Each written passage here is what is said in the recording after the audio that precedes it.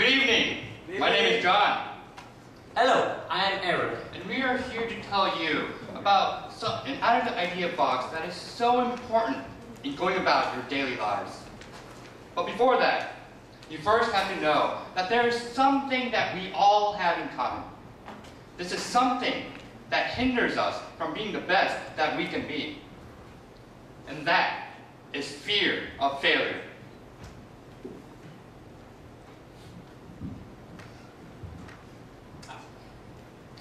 When we think about failure, failure is something that everyone experiences.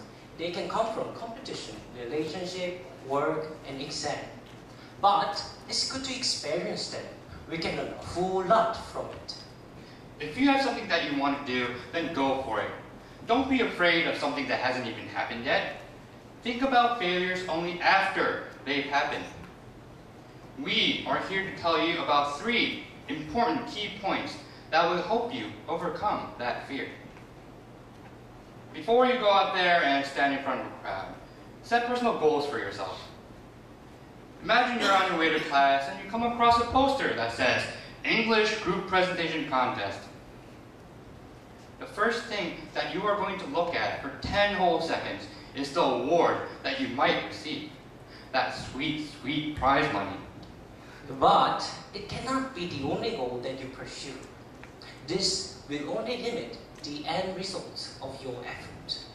Set multiple goals so that the end will be something that you can be proud of. In the past, I entered multiple violin competitions. Right around when I was in middle school and was asked to join my very first competition, I asked my teacher, how much is the prize money? I was young and kind of foolish and I didn't achieve much by entering with this kind of mindset. After many, many competitions and failures later, I realized that this was not the way to go. I began to wonder, what was wrong?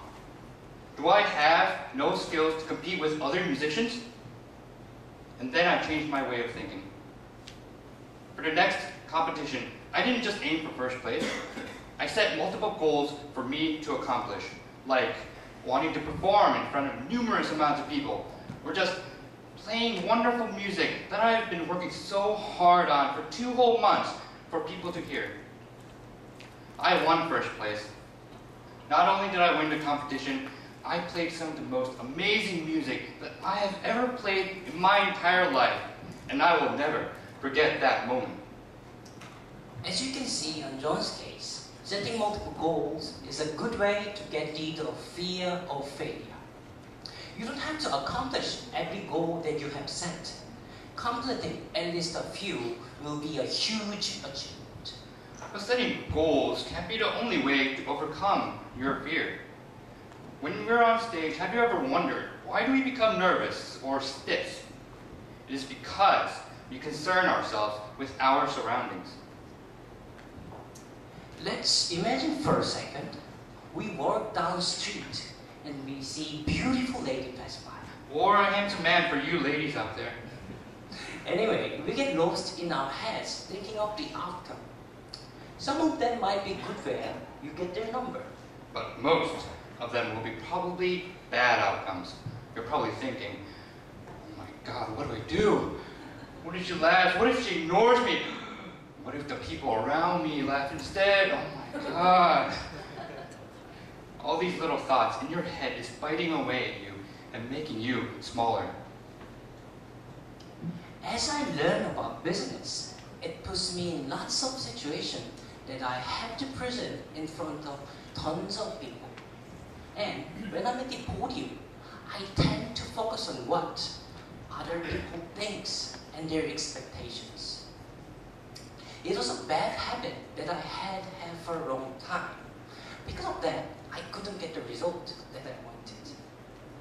But after many presentations, I found out that it is important does not care, does not care what other think. They do not care what we do when we are up here. They won't laugh when we mess up. They won't even remember what happened during this day. We know that the people around us are pretty lenient about what we do and what we say. Not concerning ourselves with what other people think is a huge load off of our shoulders. And now, our final tip for today is Get a diary.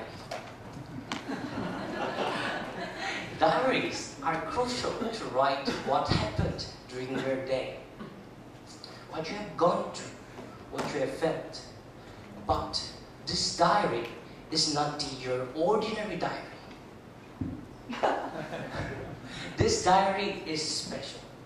This diary is specific diary for your failure. You're probably wondering, why in the world would you keep a diary of your failures? Well, it's very simple. So you can learn from your mistakes. Go over what you have failed that day, what you could have done to improve the past. When you write our failures, we develop with confidence. With this newfound confidence, we can evolve. By now, you must have realized that failure is a part of who we are. Without failing at something, we can never improve. Why do we fall? So we can learn to pick ourselves up. Rise up from your pit. This competition is also helping us greatly. We have set multiple goals. Not only about the prize, we want to improve our speaking ability in front of tons of people and inspire many people to use our knowledge for their benefit. And we know that our lovely audience does not really care about what we say in general. You probably haven't noticed, but we've messed up once or twice.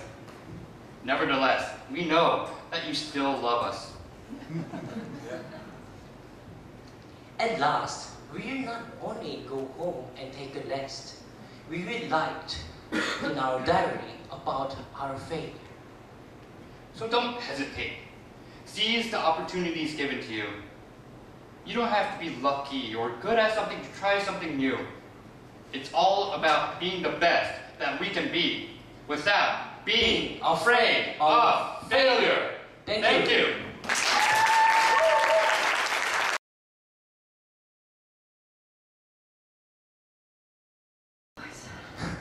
Good evening, people. Good evening. Hello, how's it going? I'm Tawanku. And um, this is Kwak Narin, and we are both majoring in English language and culture. Yeah, so before starting it, let's quickly assume that we had a baby. Yeah, we're so happy, so cute, and he's so adorable. But as time goes by, things get changed. He cries, he's whining, and pee and poo everywhere. I don't like this. This is not what I wanted. We have to do something.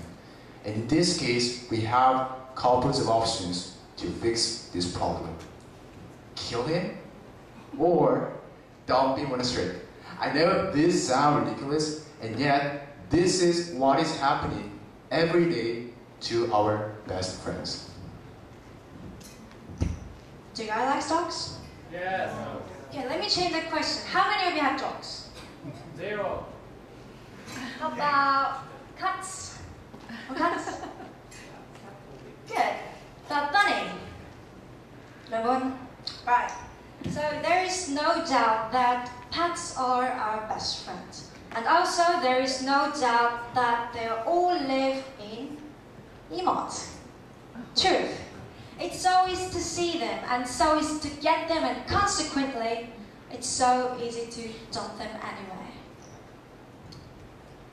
Now, 97,197. This is a great number. And this is the number of abandoned animal lost year in our country. Now that I feel really bad about this number, I found one animal shelter. And the moment I stepped into the shelter, believe it or not, over 200 dogs started barking at me instantly. And don't get me wrong, they don't look quite happy. In fact, if you look at them, their skin's got ticks, flies, disease. Ah. So what would you do if you're me?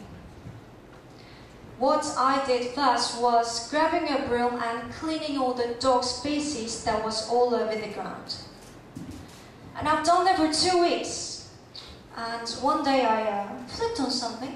Like I could feel that it was dog's poo because it was very slippery and there was poo everywhere. But it turned out to be a puppy's dead body that was just born.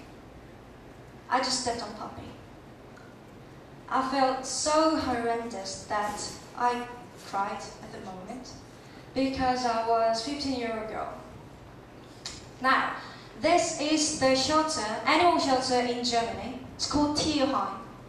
In the picture, they're providing a touring service just like a zoo. Very joyful places. Now, this is the animal shelter in Korea. Germany, Korea. Germany, Korea. Germany, Germany. Like, are you getting it? I am saying that this is not a shelter, this is home. So I found a person in charge of the shelter and asked him, What's wrong with us? Very politely, of course. And he said every single shelter in our country is maintained with donation alone. And they lack. So we agonized how we could promote donation to the shelter. Yeah. So donation service now is far retarded considering this smart era. It's slow, it's not smart, and it's boring. Like searching for internet, clicking hundreds of times and go through all the activities. uh, let's not let's get rid of that. I don't like it. Okay. Yeah, as I said, it's, it's not smart. So we come up with one thing that people always have with them. Let me see. Well, I was about to ask to Lawrence, but I think not. I can check. Yeah. What do you always carry with you? I think my smartphone. Smartphone. Thank you, but nearly. In my smartphone, I always carry this. Credit card, yes. So we've been invented a donation donation machine that accepts a credit card. Yeah, this is it. This is how it looks like. And in this machine display, you can see that little helpless, piteous dog here. And when a card is swiped, I can help you with that. thank you. So when a card is swiped like this, Okay, then the amount of donation goes directly to the shelter. So maybe that means you're giving them a hand, and maybe they will know you, and answer you, and thank you. Donation done. It's really simple solution. It's fast, and it's smart, and it's exciting. You may find some bills or detailed information about your donation below here. Okay, so I think this machine is creatively phenomenal invention. And also, we could envision this machine installed at Incheon International Airport. Maybe Sindorim Station. It's always crowded, you know. And it may go viral. Like more and more people will swipe their cards, and this small gesture, it's not even a big deal. Just swiping a card, this could make huge differences. that is remarkable, really. Small gesture and huge differences.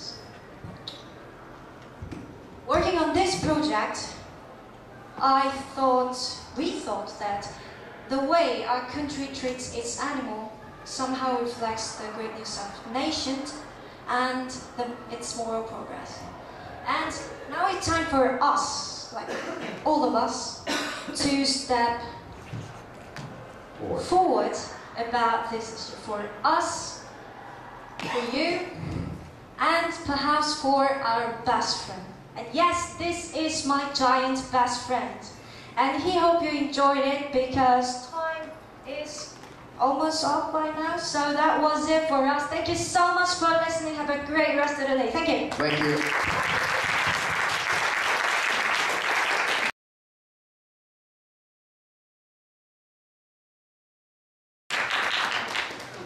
Good evening, everyone. Well, we're very happy to have this opportunity to give a presentation in front of these fine people. Okay, uh, today we will research our research with you. Uh, Before we start our speech, let us introduce ourselves. My name is In Hee Yun. my name is Sujit Na. Today we will share our research with you, and the title of our presentation is GED Drinking and Driving to the Death. And our presentation will be given in four parts, as you can see right now. Let's move on to the first part, introduction. Um, first of all, let me ask you this question. Uh, what do you think of drinking and driving? Actually, I don't drink, so but in my family there have been so many people who are drinking, so I can relate with it. I think it's really dangerous. Yeah. Yeah, I totally her, and well, thank you're answering it. Well, yeah. Uh, I mean, how about you, Minnie? Well, I think that's very dangerous, and we should prevent it as many as we can. And Susan, can you come closer a little bit, Why? please? You should keep it in your mind. If you drink and drive, I will slap in your face so hard and call the police. Okay, well, that's awesome, and I won. I promise. Yeah, so we all apparently perceive that drinking and driving is one of the things that we shouldn't do.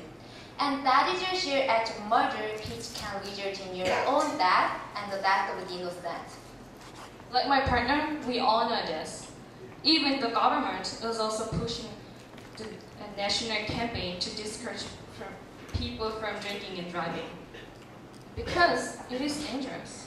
And we only have a crackdown system on drunk drive, driver a sobriety checkpoint in which police officer administer a breathalyzer test to measure if the driver has been drinking or not.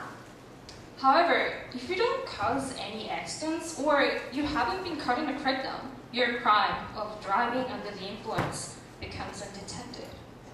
To improve the system we have right now, what we are going to suggest will be powerful and effective. The first idea we suggest is the introduction of a mobile self-assessment system for drunk driving. Currently, no one can crack down on impaired drivers if an accident hasn't happened or there wasn't an unexpected inspection, which is a breathalyzer test. Therefore, we should impose a new crackdown system which overcomes the drawbacks. The system is a self-regulation system which is operated by the car itself. In other words, if you drink, the car will notice that you're drunk and won't operate it as usual. The method works as follows. During the production process in every car, a GPS and a breathalyzer are built in the driver's seat like this. This function is just like any other feature of the car. That is to say, no one can arbitrarily turn this function on or off.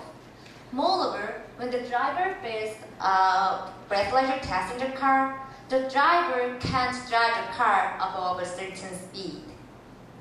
And then when the GPS inside operates, the location will be sent to the nearest police station. Through this information, the police officer can catch the drunk drivers very easily and quickly, since they already know where the drunk driver is and the car speed is limited to get away. This makes drinking and driving impossible. And it could be an important system to break people's determination to drive while under the influence of alcohol. Secondly, another idea is the introduction of a 3D pedestrian system. It's a system which uses the, side, the driver's psychology. Well, usually, the driver tend to be very nervous and use caution when they notice something in their line of sight while driving.